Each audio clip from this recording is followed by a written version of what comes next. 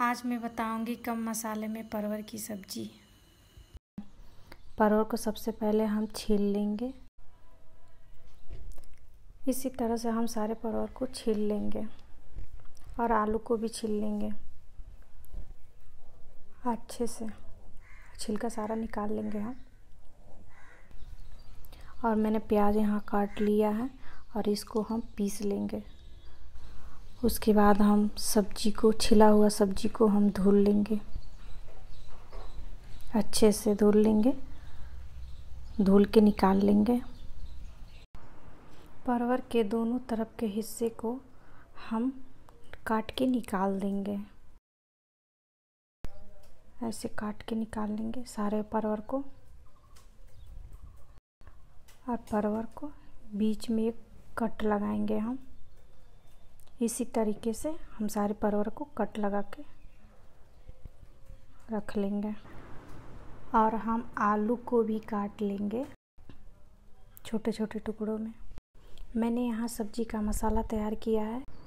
टमाटर और प्याज को मैंने पीस लिया है। पाँच फोरन गरम मसाला, हल्दी, नमक, धनिया पाउडर, कूटा हुआ लहसुन, तेज़पात पत्ता, हरी मिर्च हींग, तेल गरम हो गया। इसमें डालेंगे परवर परवर को अच्छे से चला के हम फ्राई करेंगे, भूनेंगे, चलाते रहेंगे। परवर भून चुका है, फ्राई हो चुका। अब इसको हम निकाल लेंगे एक बर्तन में। अब हम आलू भी डाल के हल्का सा फ्राई करेंगे, चलाएँगे। ज़्यादा नहीं फ्राई करना हमें। एक मिनट तक फ्राई करना अब हम इसको निकाल लेंगे। अगर कढ़ाई में तेल कम है तो डालें। इसमें डालेंगे हम पाँच फोरन। कटा हुआ लहसुन कुटा हुआ। और इससे अच्छे से भूनेंगे, फ्राई करेंगे। कच्चापन चला जाए। इसमें हींग डालेंगे हम। कटा हुआ हरा मिर्च डाल के भूनेंगे। अब हम पिसा हुआ प्याज डालेंगे। चला के अच्छे से भूनेंगे एक मिनट तक। जब प्याज पक जाए, तब हम इसमें डालेंगे। टमाटर पिसा हुआ, टमाटर भी एक मिनट तक पकाएँगे हम डाल के। भूनेंगे। गैस को मीडियम फ्लेम में रखेंगे। अब एक मिनट हो चुका है। टमाटर अच्छे से पक चुका है। अब हम इसमें डालेंगे गरम मसाला, धनिया पाउडर,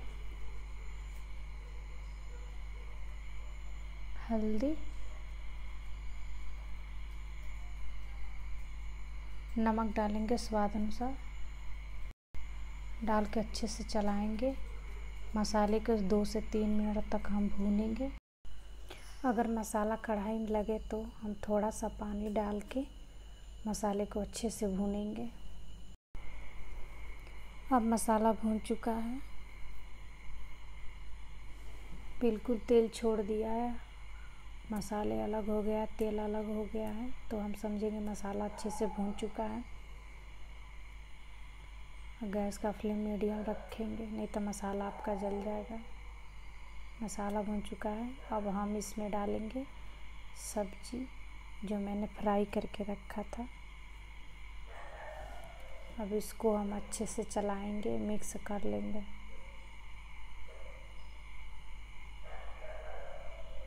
अच्छे से मिला लेंगे।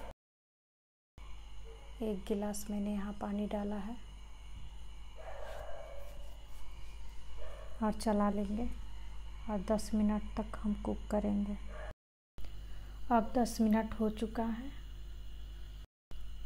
सब्ज़ी को हम चलाएँगे अच्छे से और आलू को चेक करेंगे। आलू गल चुका है। चला लेंगे। सब्ज़ी बिल्कुल बन के तैयार हो गया है आपका। अब इसमें हम डालेंगे कटा हुआ धनिया। धनिया से बहुत अच्छा फ्लेवर आता है। और इसको हम चला लेंगे। आपका सब्ज़ी बनकर तैयार है। और अब हम गैस को बंद कर देंगे।